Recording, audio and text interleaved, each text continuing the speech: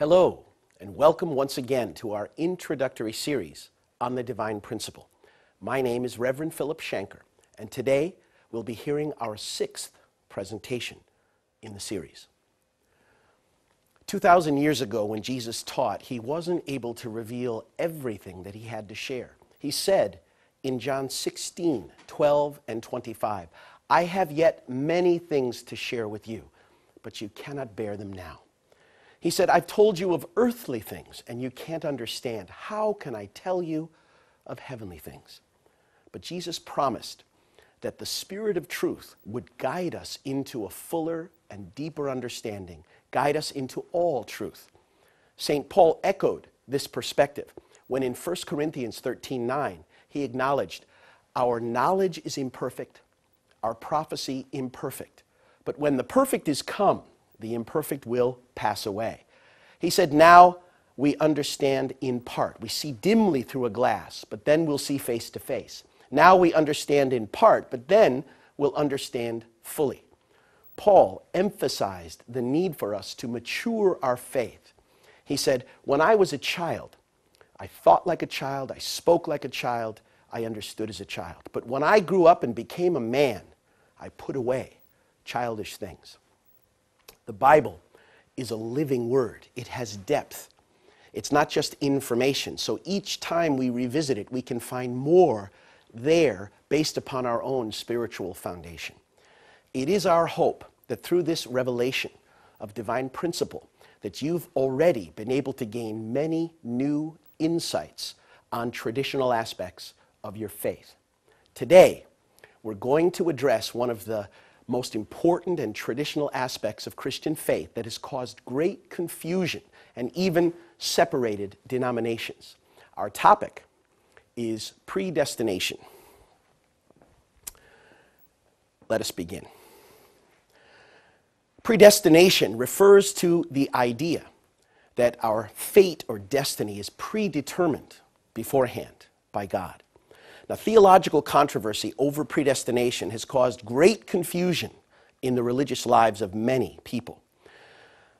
Whether or not people are free to choose their own destiny, or whether God knows and predestines in advance the fates and fortunes of all people, is the controversy. Let's begin by examining where this controversy comes from in the scripture. In the Bible, we find many passages which are often interpreted to mean that everything in an individual's life, our prosperity or decline, our uh, good or bad fortune, even the rise or fall of nations, that everything in an individual's life comes to pass exactly as predestined by God. Among the scriptures that seem to support this, we find in the book of Romans, chapter 8, those whom he predestined, he also called. And those whom he called, he also justified. And those whom he justified, he also glorified, making it seem like God chooses, predetermines, and causes the accomplishment of those whom he wills. One chapter later in Romans, I will have mercy on whom I have mercy. I will have compassion on whom I have compassion. So it depends not upon man's will or exertion, but upon God's mercy and also in Romans 9, has the potter no right over the clay to make out of the same lump one vessel for beauty and another for menial use? And also in Romans 9, it is written that even while they were still in the mother's womb, God loved Jacob and hated Esau and announced their destiny, saying, The elder will serve the younger. It's, it's true that these passages could provide ample biblical grounds to justify the doctrine that God absolutely and pre- completely predestines human life. We would expect that since God is absolute, almighty, beyond time and space, that he, when He has predestined something, it is fixed and cannot be altered by human effort. However, looking at the Bible, yet we can also find sufficient evidence in the Bible to refute the doctrine of absolute predestination. For example, God warned the first human ancestors in order to prevent the fall. This in Genesis 13. You should not eat of the fruit of the tree, for in the day you eat of it, In that day you will surely die. Now, unless God was using reverse psychology to tell them not to do something that He really planned for them to do, we can deduce from this that the human fall was not the outcome of God's predestined plan, but rather the result of human disobedience to the commandment. Again, we read in Genesis 6 6, the Lord was sorry that he had made man on earth, and it grieved him to his heart. Here in Genesis 5, God sees the suffering, the evil, and, and, and abominations in the world, and he repents that he made man on the face of the earth. Now, if the human fall were predestined, there would be no reason for God to grieve over fallen humanity who was acting in accordance with God's predestined intention. Likewise, it is written that whoever believes in Christ shall have eternal life. John 3:16 is the most well-known quote from the New Testament in the world. And it implies that no one is predestined to damnation. For God so loved the world that he gave his only son that whoever believes will not perish but shall have eternal life. And 2 Peter makes clear that God desires no one perish, but that everyone reach repentance. There are many other biblical examples that God does not predestine damnation for human beings. In Ezekiel chapter 33 11, God says, I have no pleasure in the death of the wicked, but that the wicked turn from his way and live. Turn back, turn back from your evil way. For why will you die, O house of Israel? Going on in Ezekiel, the Lord says, if I say to the wicked, You will surely die, yet, even if I say to the wicked, You will die, yet if the wicked repents, gives back what he has taken, restores the pledge he broke, he will not die, he will live. And here in Jonah, we find the record that God repented of the evil he was planning to do. God said to Jonah, I've seen the city of Nineveh, I've seen the unrighteousness of the people and I intend to destroy the city. So Jonah went to the city, prophesied to the people that because of their wicked ways, God would destroy the city. The people repented. And God said, Because they repented, I repent of the evil that I had intended to do to them. Now, the Bible says Jonah got upset. God, if you don't go ahead and destroy and do what I said, my credibility's on the line. But here we see the dynamic relationship between the will of God and the responsibility given to man from the beginning. Jeremiah 18 If at any time I declare concerning a nation or a kingdom that I will pluck up and break down and destroy it, but if that nation turns from its evil, I will repent of the evil that I intended to do to it. So, the belief that human outcomes are determined by human effort is even more supported in the New Testament, such as this verse in Matthew 7 7 from Jesus Ask and it will be given you, seek and you will find, knock and the door will be opened. Jesus many times emphasized the need for human effort. He said, I will give you the keys to the kingdom of heaven, and whatever you bind on earth will be bound in heaven. Whatever you loose on earth shall be loosed in heaven. The Bible instructs us to pray for our sick brothers, suggesting that illness and health do not depend solely on God's predestination. If everything was predestined, why would we need to pray? Why should we make effort? What would be the value of human investment at all? Now, since there are ample grounds in the Bible to justify either of these two contrasting doctrines, controversy over the issue of predestination has been inevitable. Let us see how the principle can solve this problem. First, the predestination of God's will. Now, before discussing the predestination of God's will, let us first examine what is being willed we know that the purpose of creation from the beginning is to fulfill the three blessings. Let us remember that God could not accomplish that purpose of creation due to the human fall. Accordingly, God's will being that God is eternal, unchanging, and absolute, the will remains. The will is eternal, unchanging, and absolute. And his will is still to accomplish the purpose of creation. Now, when God could not fulfill his will due to the fall, he determined to fulfill it once more through the providence of restoration in order to accomplish it. Another thing we can understand about the nature of God's will God is a good God. He's the definition of goodness, and He's the author of goodness. God, therefore, did not intend the human fall or sins that obstruct and oppose His good purpose of creation. In short, God does not predestine that which is not of His nature. He doesn't predestine wickedness or evil. If such evils were the inevitable result of God's predestination, then he could not be the author of goodness. Moreover, if God himself had predestined such evil outcomes, he would not have expressed regret over them as he did towards the depravity of fallen human beings, as we already referenced in Genesis 6 6, or over King Saul, another example, when Saul lapsed into faithlessness. Here in 1 Samuel 15 11, I repent that I have made Saul king for he has turned back from following me. When Saul turned away, God regretted his choice. Evil is not the result of God's predestination, but rather the result of human beings failing to fulfill their responsibility and instead joining with Satan. So, God, a good God, does not predestine evil. Evil results when human beings fail to realize God's good will. Let us continue.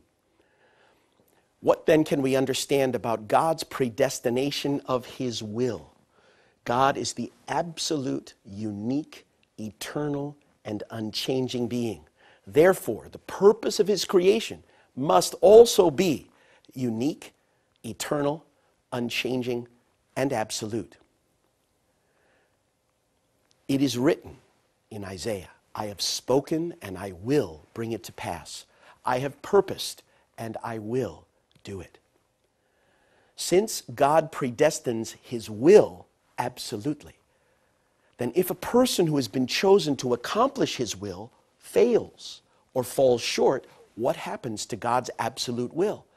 God must continue to carry on his providence until its fulfillment, even though it may require him to choose another person to shoulder the same mission. For example, God willed that his purpose of creation be fulfilled through Adam. Although this did not come to pass, God's predestination of his providential will remained absolute. Hence, God sent Jesus as the second Adam and attempted to fulfill his will through him.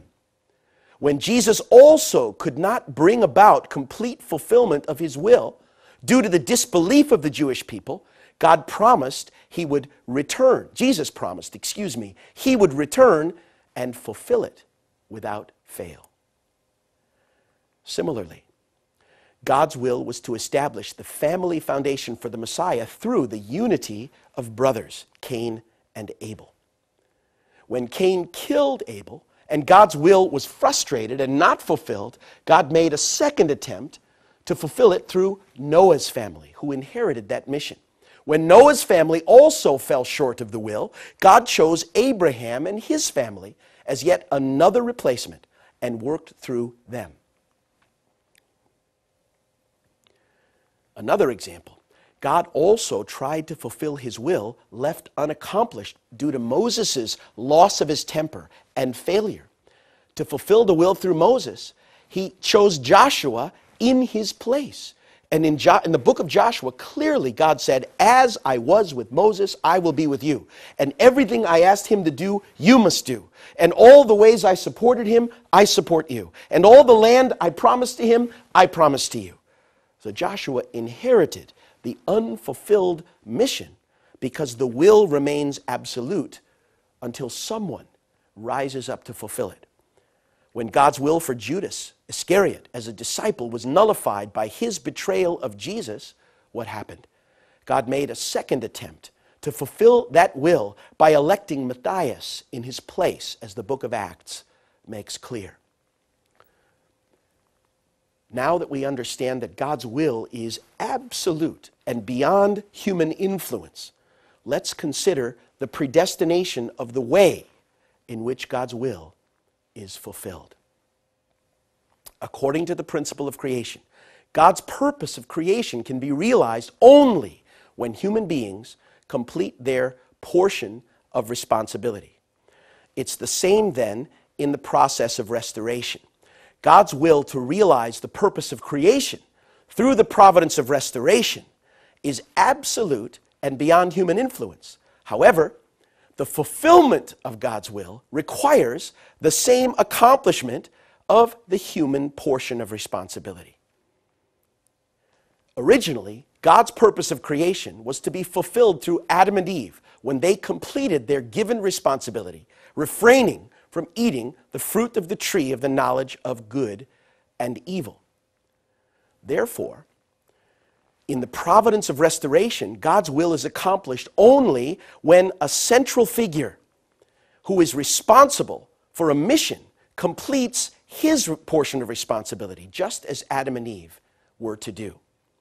For example, the people of Israel, as the central nation of the providence, should have believed in Jesus, followed him unconditionally, in order for God to accomplish complete salvation at that time. Because they disbelieved and failed to fulfill their responsibility, the fulfillment of the will was frustrated, postponed until the time of the second advent. Now, to what extent then does God predestine the unfolding events in the providence? God's will to realize the providence of restoration is absolute it's fixed, it's unchangeable, it is beyond human influence. He predestines his will absolutely. However, God predestines the accomplishment of his will conditionally. Why? Because it's contingent upon the fulfillment or failure of the human being's portion of responsibility. God has to rely upon the central figure to complete his responsibility. So, the fulfillment of God's will is contingent upon the central figure completing his responsibility in addition to the responsibility of God. Now, a proportion of 5% is used to represent human responsibility, just to demonstrate that it's extremely small when compared to God's portion of responsibility. However, it's important to note that for human beings, this 5% is equivalent to 100% of our effort. Why 95 for God? Because who created the universe? Who established the laws of creation? Who gave us our nature? Who empowered us and gifted us with all of our talents and abilities? Most of the job is done. But here's maybe a better example. Think of your own life. Which of you has chosen to be born? The century the country, the age, the time, the location of your birth, your parents, your environment, your talents, your abilities, your character, your physical features. All of these things are given to us. And 95% of our life is, in, is really predetermined. And this will affect how far we can go, how much education we can have, ex- what we can achieve in our life. But what we do with this 95% constitutes our 5% portion of responsibility. There's a saying that who you are is God's gift to you. What you make of yourself is your gift to God. So, again, for human beings, this 5% is equivalent to 100% human effort. Now, here in Revelations is another example. The Lord says, To him who is thirsty, I will give him drink without cost from the spring of the water of life. He who overcomes will inherit the kingdom of heaven on earth. I will be his God, and he will be my son. Now, we can understand by separating this into the contingent parts. What God will give is the water of life, the truth, the love of Jesus, the source of inspiration and life in order to support a person of faith. But it's the person of faith who must overcome the challenges and trials, and then they're able to inherit the kingdom of heaven on earth. So, The question is why did God give human beings a portion of responsibility? Well, it's the very basis of our value. God gave us the portion of responsibility so He could love us more than any other being in creation, so that we would have the free, creative, conscious capacity to respond in a loving relationship of parent and child. God's intention in giving this portion of responsibility was to make human beings worthy to be the lords of creation by having us take after God's creative nature. Now, God predestined that his will be fulfilled through Adam and Eve when they completed their relatively small portion of responsibility. Similarly, in Noah's time, God predestined that his will be fulfilled only after Noah completed his responsibility by building the ark. Similarly, in the providence of salvation through Jesus, God predestined that his will be fulfilled when the people completed their responsibility by believing in Jesus as the Messiah and rendering him devoted service. So God predestines his will 100%, but its fulfillment is contingent upon human beings completing their portion of responsibility. Because that fulfillment of responsibility is the basis of our value and is the missing piece that caused the fall and needs to be restored in order for God to recreate man and the universe. However, time and again, human beings could not cope with even their small portion of responsibility. Consequently, God's providence has been repeatedly frustrated and prolonged. We can see that at the time of Noah, the time of Jesus, and the future coming of Christ, these were all times when God sought to make an end to the evil world. But because of failure in the previous efforts, Satan could maintain his sovereignty. Over and over again, chosen people in the providence could not cope with their responsibility. When we consider this fact, we can appreciate how extremely difficult it has been for the men and women of faith to fulfill even this comparatively small human portion of responsibility. So now, given the absolute predestination of God's will and the conditional fulfillment based upon human portion of responsibility, let's consider the predestination of human beings. Adam and Eve were to become the good ancestors of humanity, conditional upon fulfilling their responsibility to obey God's commandment. He said, If you eat the fruit, then you will die. Therefore, if you obey my commandment, then you will be blessed. If you disobey, then you will be punished. Accordingly, God did not absolutely predestine that Adam and Eve would become our good ancestors. It was conditional. The will is, is predestined absolutely, but its fulfillment depends upon the fulfillment of the Lords of creation, whom God empowered from the beginning. Now, the same holds for all fallen people. We become ideal people that God has foreordained us to be only when we complete our portion of responsibility.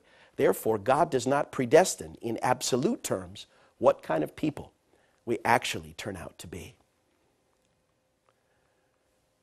The fulfillment of God's will through an individual requires both God's portion of responsibility and that person's portion of responsibility. Both must be accomplished together for an individual to realize his given mission and complete the will of God for his life. For example, God predestined Moses conditionally. If Moses fulfilled his responsibility, then he would lead the chosen people into the promised land of Canaan, as Exodus records. However, when Moses transgressed God's will, losing his temper, striking the rock twice at Kadesh Barnea, he failed. Consequently, Moses died unable to reach his final destination. And God's intention for him to lead the people into Canaan was never realized. However, that purpose remained and the job was inherited by Joshua. Similarly, when God raised up the Jewish people, he predestined and promised that they would be glorified as the chosen nation when they fulfilled their responsibility to believe in and attend Jesus. Look at the promises in the Old Testament of Israel being the center of the world. Here from Isaiah I will give you, Israel, as a light to the nations, that my salvation may reach the end of the earth. With their faces to the ground, the nations shall bow down to you.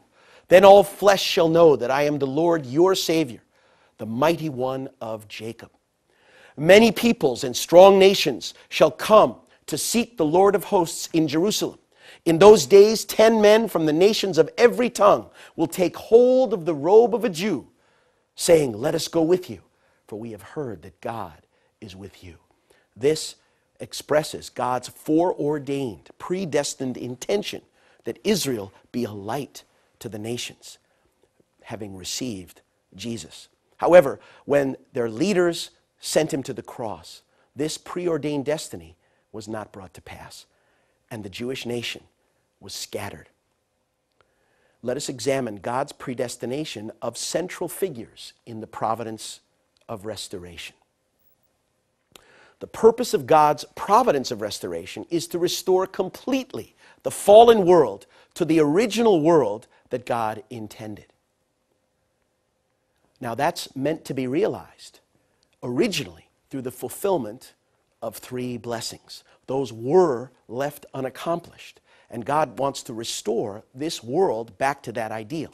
Therefore, although the times of their salvation may differ, all fallen people under the dominion of Satan, fueling this false world, are ultimately predestined to be saved.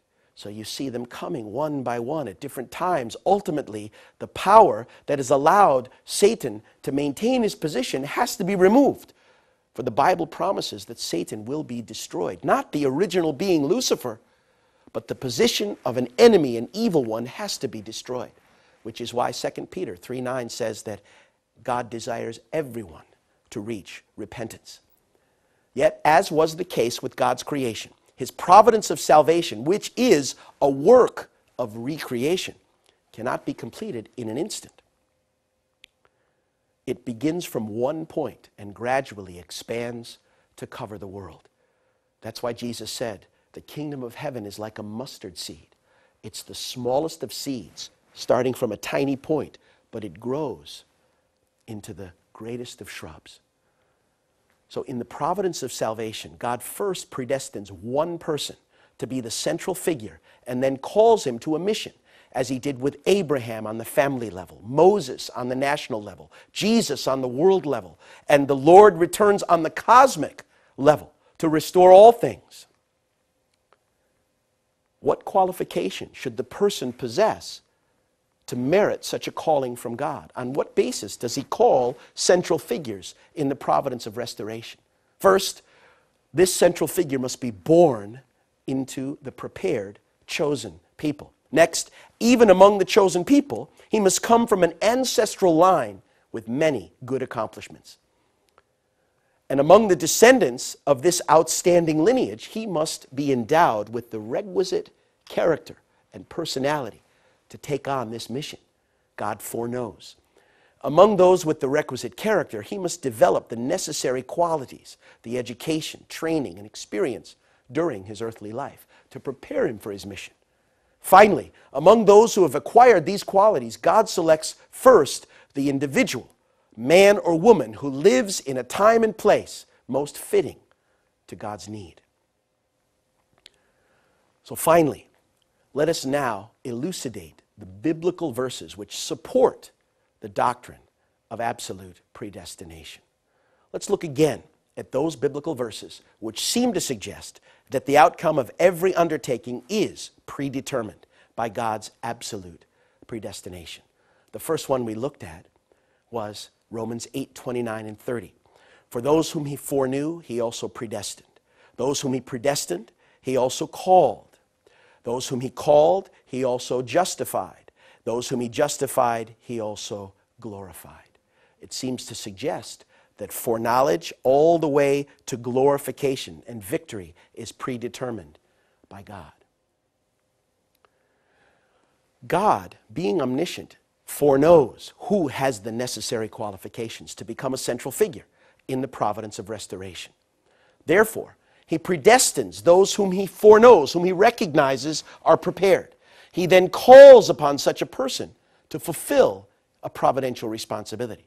Now, calling the person is God's responsibility, but that calling alone does not entitle the person to be justified automatically. There are many central figures who were called and fell short of their responsibility.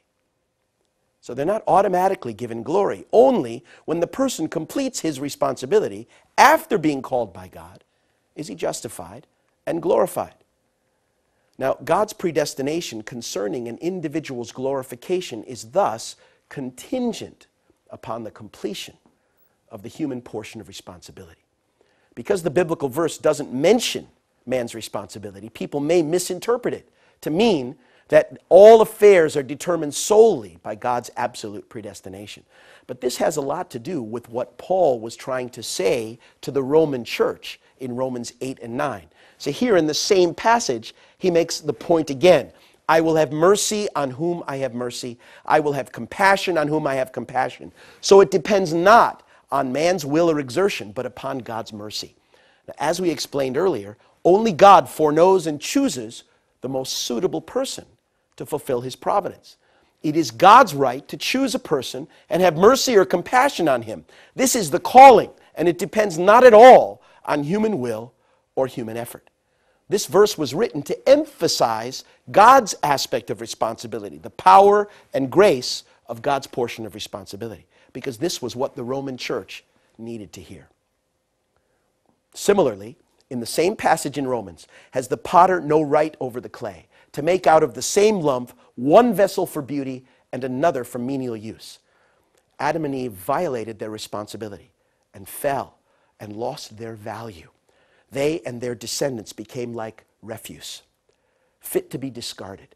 In such a state, fallen people have no cause to complain, no matter how God may treat them. That's the emphasis of this particular phrase. Also in Romans 9, it is written that God loved Jacob and hated Esau in the womb. And that God said to, Jacob's, uh, to Jacob and Esau's mother, the elder must serve the younger. But this is not prejudice. This is not favoritism. This is not predestination. If we look more deeply, God gave Isaac twin sons, Esau and Jacob, with the intention of having them stand in the positions of Cain and Abel where the elder son had killed the younger son. To restore that process, God intended Jacob in the position of Abel to win over his elder brother Esau in the position of Cain, to recover the birthright. That's why God told their mother, the elder must become humble to the younger. That's the meaning of this passage. Not that God was showing favoritism toward one or the other. Like Cain, God's favor or disfavor towards Esau depended on whether or not he completed his given portion of responsibility. Look, for example, at what God said to Cain in Genesis 4 6 and 7. The Lord said to Cain, after his offering was rejected, Why are you angry? And why is your countenance fallen? If you do well, will you not be accepted? And if you do not do well, sin is couching at your door desiring you, but you must master it. Here's a classic expression of humans of the human portion of responsibility. God is saying, don't be upset that the offering's been rejected. There is a way for you. If you do well, I can receive you. If not, sin will dominate you. Your job is to overcome it. In fact, in Esau's case, because Esau obediently submitted to Jacob, he was able to rise above his previous condition of being in this position of being quote unquote hated by God and receive the blessing of God's love equal to Jacob's. Conversely, even though Jacob was initially in the position of favor, he would have ceased to receive it had he failed in his responsibility. So, in conclusion, there are many who've been confused about this point. Theologians and people of faith, such as John Calvin, have propounded the doctrine of absolute and complete predestination, that God controls everything, that there's no meaning to human effort. which is widely believed even in our present day. These ones have held to such a doctrine because they wrongly believed that the accomplishment of God's will depends solely on the power and work of God. They were ignorant of the true relationship between God's portion of responsibility and the human portion of responsibility in the fulfillment of the providence of restoration. Now, we've been able to see these things more clearly. I do hope that you have gained new insight into this thorny issue that has divided people of faith and Christian believers throughout the world. In future discussions, we are going to apply these principles we've been discussing to the entire history of humankind and understand God's providence of restoration and the age we are living in now based on the principle. Thank you for your time. Thank you for your attention. God bless.